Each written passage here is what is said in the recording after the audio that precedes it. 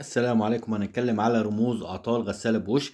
آه إيه معنى كل رمز عطل وإزاي نقدر نحله؟ أو إيه سببه؟ رمز E واحد أو رمز F اتنين آه كلهم معنى واحد لكن بتختلف من موديل الغسالة للتانية. آه كلها بوش لكن الموديلات المختلفة. يشيرنا إلى وجود خلل في نظام التسخين الخاص بالغسالة. المشكلة بيكون في السخان نفسه في رواسب كتير فبيمنع آه التسخين كويس. أو السخان نفسه آه، فيه مشكلة. وكمان ممكن يكون الوصلات بتاع التسخين ودي آه، مش نقدر صاحب الغسالة مش هيقدر يعملها بنفسه. لازم فني متخصص علشان آه، اختبار السخان أو خروجه من الغسالة ما بيكونش بسهولة. إلا لو حد عنده فكرة بالموضوع. رمز إيه؟ 2 يشير هذا الخطأ وجود عطل بمحرك الغسالة وعدم دورانه ممكن تكون حاجة ما بين الحلتين فبيمنع دوران الموتور الغسالة. أو كمان ممكن يكون الموتور نفسه فيه آه، محتاج صيانة زي شربون أو آه، وصلاته الوصلات بتاعته فيها مشكلة.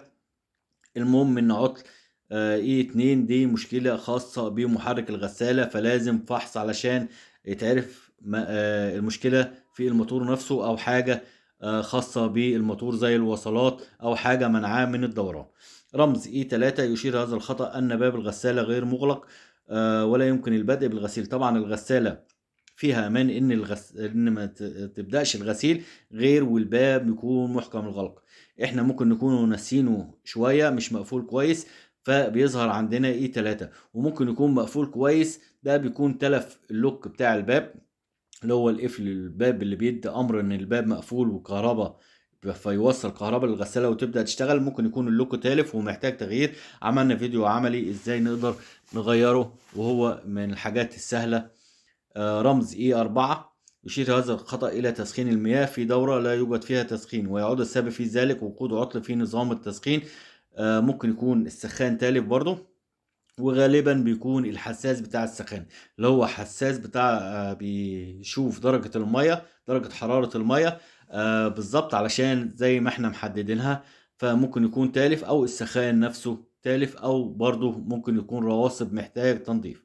رمز اي 5 ورمز اي 17 يشيران إلى عدم امتلاء حوض الغسيل بالماء في الوقت المطلوب وده آه، بيكون سهلة ونقدر نعملها بنفسنا ولازم يتعمل باستمرار إن إحنا نقفل الحنفية ونفك الخرطوم اللي واصل للغسالة آه، بيمدها بالمية. هنلاقي مصفاة آه، نقدر ننضفها من الرواسب والانسداد. هتشتغل معانا المية وتبدأ تملى معانا بسهولة. علشان الوقت الملو لازم وقت محدد.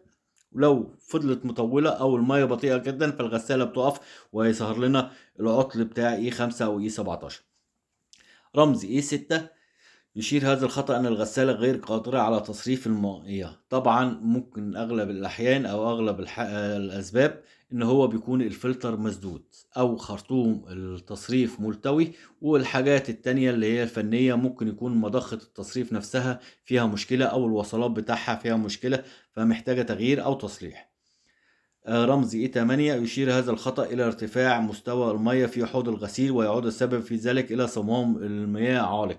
ممكن يكون الصمام آه تالف آه، وده نعرف تالف ولا لأ. لو شلنا فيشه الكهرباء خالص من الغسالة والصمام لأنها بينزل مية يبقى تالف ومحتاج تغيير. لكن لو بس بتملى مية باستمرار آه، أثناء الغسيل لما يكون وصل لها كهرباء ممكن يكون ميزان دخول المية أو البراشر أو الخرطوم بتاع ميزان آه، المية مسدود أو مقطوع.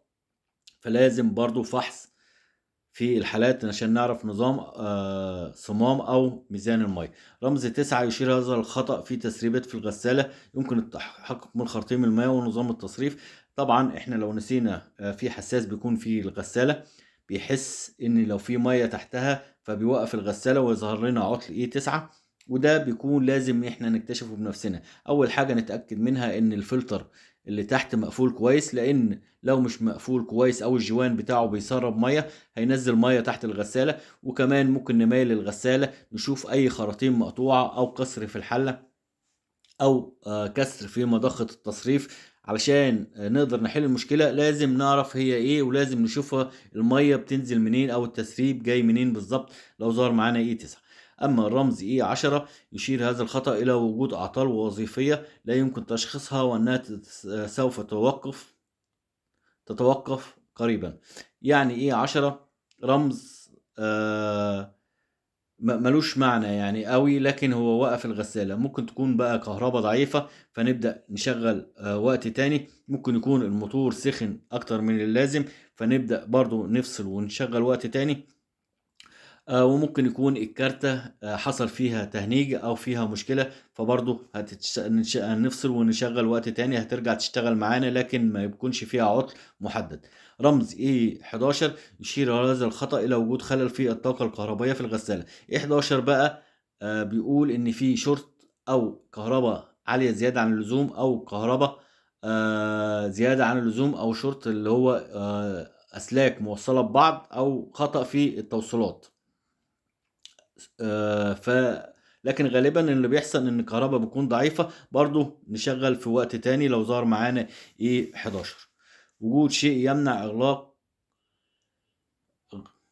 آه، رمز إي 16 وإي 8 وإي وإف 16 وإف 34 كلهم معنى واحد بس برضو بيرجع لنوع الموديل تشير هذه الرموز إلى أن باب الغسالة غير مغلق آه، أو غير محكم الغلق أول حاجة نتأكد من الباب كويس جدا ولو الباب مقفول يبقى مشكلة في ال lock بتاع الباب أو آه، في جلدة الباب منع القفل الباب كويس منع قفل الباب. نتأكد إن هو مقفول كويس مفيش حاجة منعاه من القفل الباب من قفل الباب كويس. أو ال lock بتاع الباب إحنا طبعا عملنا فيديو عملي إزاي نقدر نغير ال lock الباب وإزاي نقدر نختبره. رمز اي 18 يشير هذا الخطأ إلى وجود أقسام أجسام صلبة مثل العملات المعدنية في حوض الغسيل يؤدي ذلك إلى انسداد خرطوم آه، التصريف.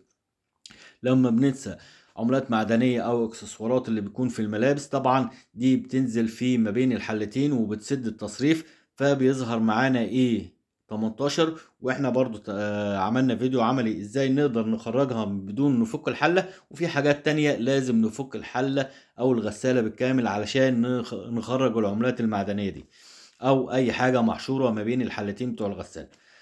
رمز اي 22 يشير هذا الخطأ إلى وجود تلفي مستشعر درجة الحرارة يجب التحقق من وجود كسر في الأسلاك أو عدم توصيلها بشكل صحيح. الحساس بتاع درجة الحرارة اللي بيقيس درجة الحرارة بتاع تسخين المية ده بيقول إن في مشكلة فبيظهر معانا آه، العطل إيه 22 ممكن يكون الحساس نفسه تالف أو ممكن يكون الوصلات بتاعته فيها مشكلة. آه، رمز اي 23 يشير هذا الخطأ عند حدوث تسريبات في الغسالة والسبب الأكثر شيوعا هو استخدام صابون غسيل خاطئ بسبب رغوة قصيرة. آه، لو استخدمنا مسحوق أكتر من اللازم أو آه، آه، المسحوق آه، تالف أو مسحوق فيه رغوة عالية هيظهر لنا العطل اي 23 لأن الرغوة هتنزل من الغسالة من عند الباب وتنزل تحت الغسالة فهيحس إن في تسريب. وممكن لو آه، مفيش رغوة ومفيش أي مسحوق آه، زيادة ممكن يكون في كسر أو قطع في الخراطيم اللي هو آه، بتنزل مية أسفل الغسالة فهيظهر معانا آه، العطل برضو فلازم نكتشفها بنفسنا زي ما قلنا قبل كده. رمز اي 26 يشير هذا الخطأ عندما لا يعطي مستشعر الضغط قراءة صحيحة. لذا يجب التحقق من أنبوب الضغط آه، بحثا عن أي انسداد وإن لم يكن هناك انسداد آه، يجب آه، استبدال مستشعر الضغط. مستشعر الضغط اللي هو ميزان المية اللي إحنا اتكلمنا عنه بيكون ميزان المية ده واصل واصل بخرطوم لغرفة البخار أو للغسالة من تحت حلة الغسيل ممكن يكون مسدود. مسدود بسبب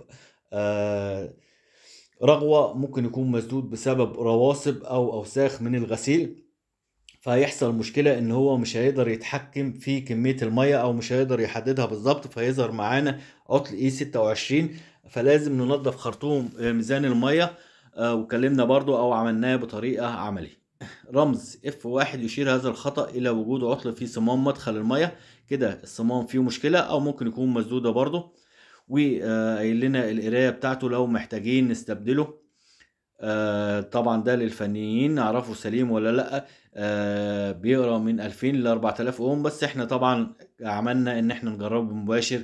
آه، أفضل بالكهرباء مباشر لو شغال على 220 رمز F3 و F18 يشيرا- يشيران إلى وجود خلل في مضخة التصريف.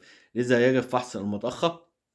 برضو ممكن يكون انسداد في الفلتر وممكن يكون انسداد في خرطوم التصريف وممكن. المضخة نفسها آه، فيها مشكلة وقايل لنا إزاي برضو نقيس المضخة آه، ممكن تكون قارية معانا كويس لكن آه، المضخة التصريف أو بعض المواتير أو الحاجات اللي بتشتغل بدوران بيكون فيها أعطال ميكانيكية وأعطال كهربائية ده تقراها ممكن يكون القراية معاك صح لكن فيها عطل ميكانيكي الدوران مش شغال كويس فبتحتاج تتغير. لو ظهر معانا عطل F 3 أو F 18 ده بيحتاج تغيير مضخة التصريف غالبا بعد ما نقيس ونتأكد برضه.